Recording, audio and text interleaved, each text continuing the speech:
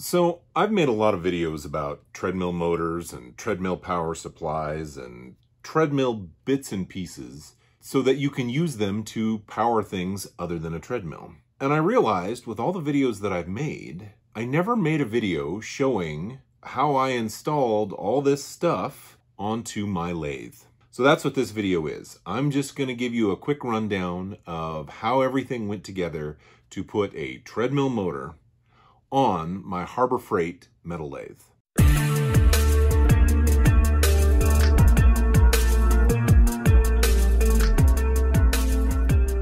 Greetings fellow DIYer and welcome to my video.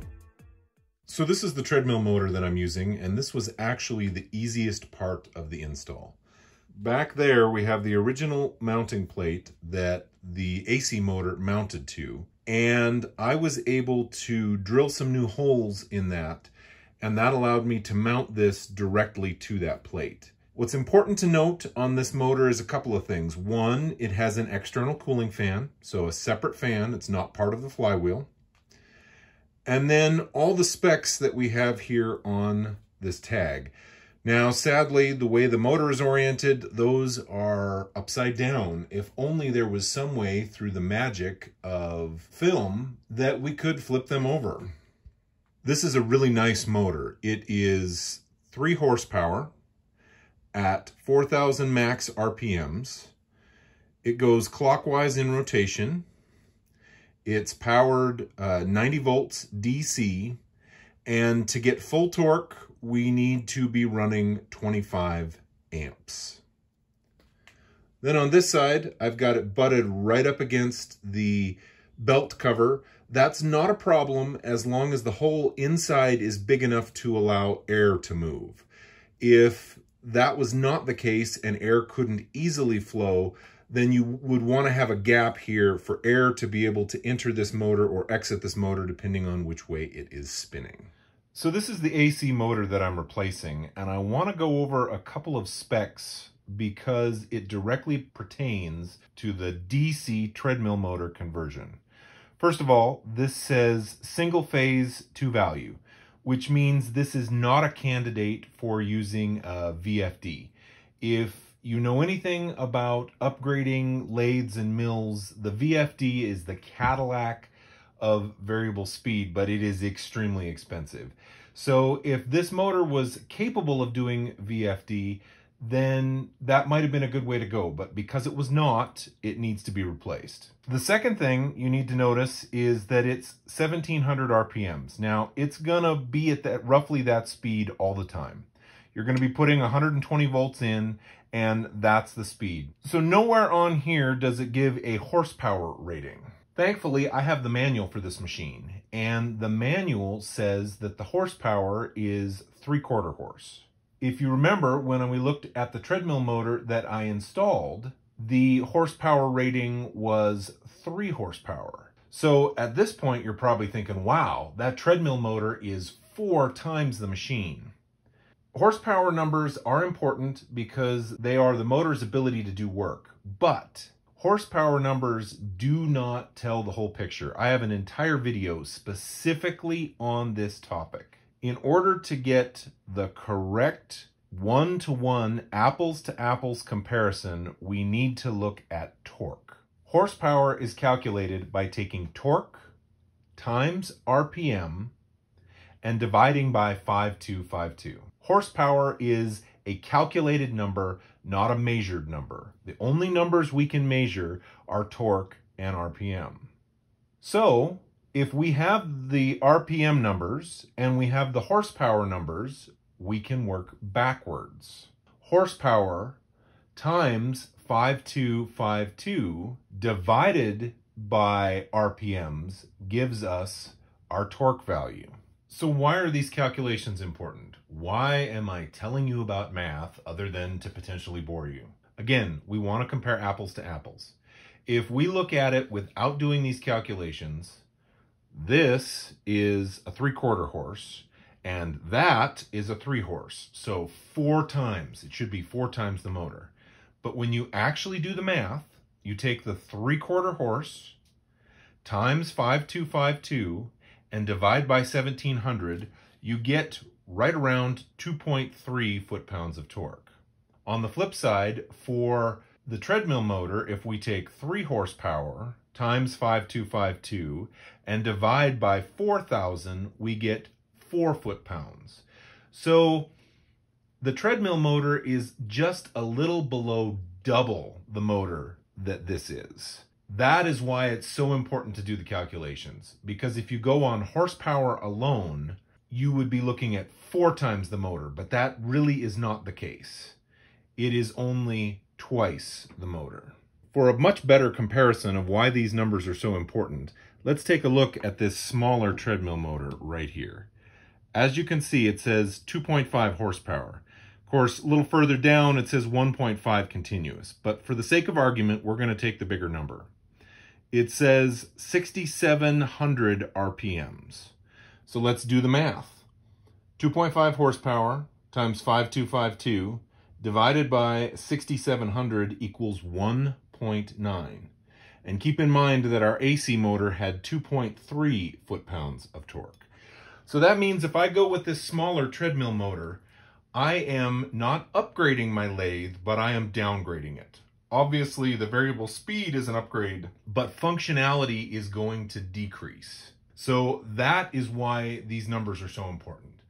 In the case of my lathe, I put a better motor on all the way around. Better because of speed adjustment, better because of torque and horsepower, but not all treadmill motors are created equally. Compare what you have to what you're putting on, and it may not be worth it if it's a smaller, underpowered treadmill motor.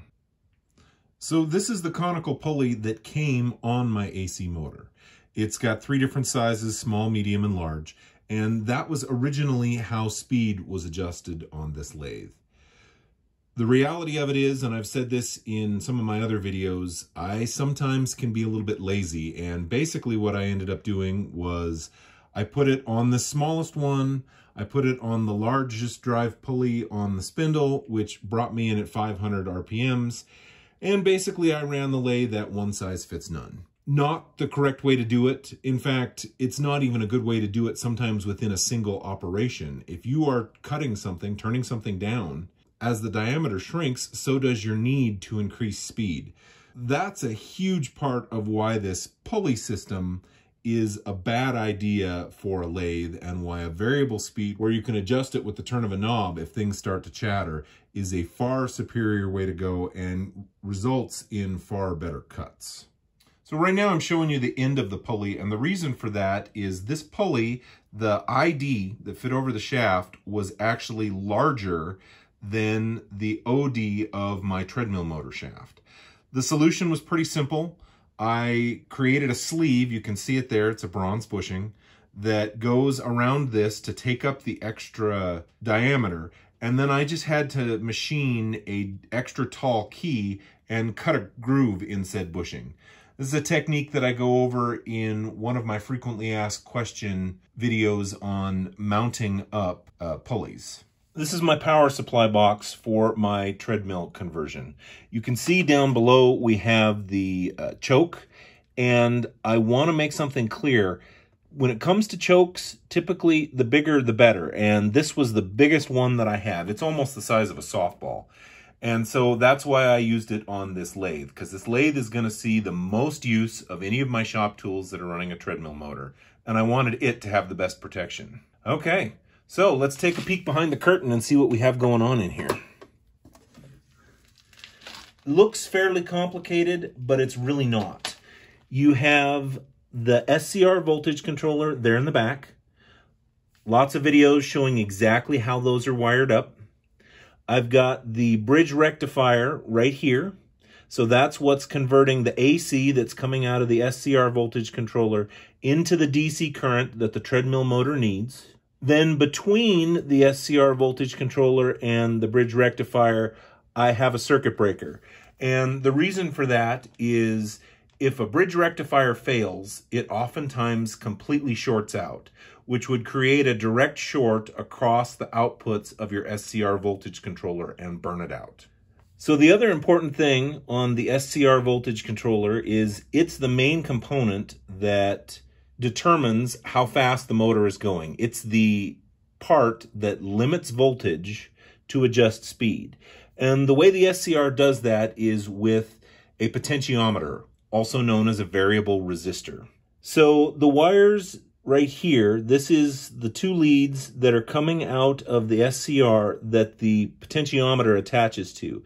And I've run those up to the control panel for my lathe. So these are my controls right here. I have two potentiometers. I have a large one and a small one. And they act as fine speed control and coarse speed control. I have a master power switch. This is on the AC side of things. It cuts power or turns power on to the SCR voltage controller. And then this right here is my direction switch. Now this is a double pole, double throw switch. And what it does is it takes the DC current coming out of the bridge rectifier and it goes through this switch on the way to the motor. And when I flip the switch, it reverses the polarity going into the motor. So what would normally be set up as red to red and black to black becomes red to black and black to red. And that's what gives me reverse motion. Now, what's super important about this switch is that it is center off. If you had one that was on on without a center off, you run the risk of damaging your motor because if you have it going one direction and then you suddenly flip it the other direction, it'll make all kinds of noise, super hard on the brushes and the plate that the brushes ride on. All right, so let's take a peek at this and see how all this works. I'm gonna adjust this camera ever so slightly so you can see the spindle. And let's give it a go. So right now I have it turned all the way down and it's coming on. We're right around 50 RPMs. That's my minimum RPM. And fine speed control. You can see I've turned that knob quite a bit and it's not speeding up that much. So that's max speed on my fine control. Turn that back down. And then we have coarse speed control. And you can see just a little bit of movement makes a huge change there. Now I can do those in concert. So let's say that's fast, but I want it a little faster. I turn the fine up to get it exactly where I want it. Now let's say I'm threading and I need to stop everything and go the other direction. I can flick my direction switch to the off position, wait for it to come to a stop, and then flip it the other direction and it will run in reverse. And again, I have the ability to adjust speeds as I'm cutting.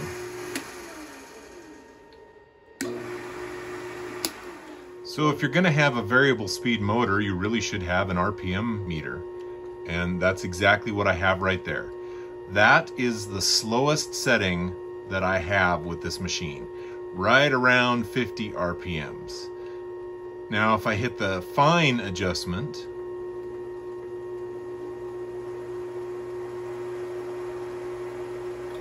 can take it up to almost 300 RPM, so that's an entire turn of the fine adjustment. And then with the coarse adjustment, we can take it up to full speed.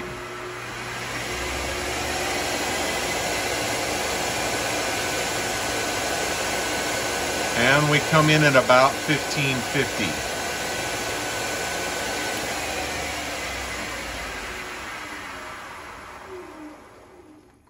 So that's the advantage of having the coarse speed adjustment and the fine speed adjustment.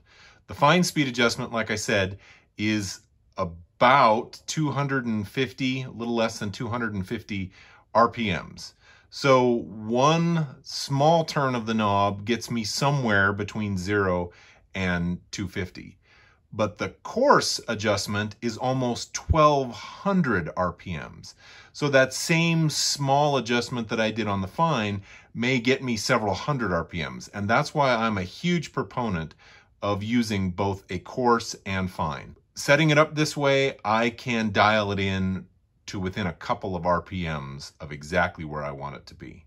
So I hope that information helps you be able to install a treadmill motor on your lathe or other shop tools. Now, there's a lot of things I haven't talked about, like where to get a treadmill motor or where to get the SCR, how to wire all that up. I have lots of other videos that go over those exact topics.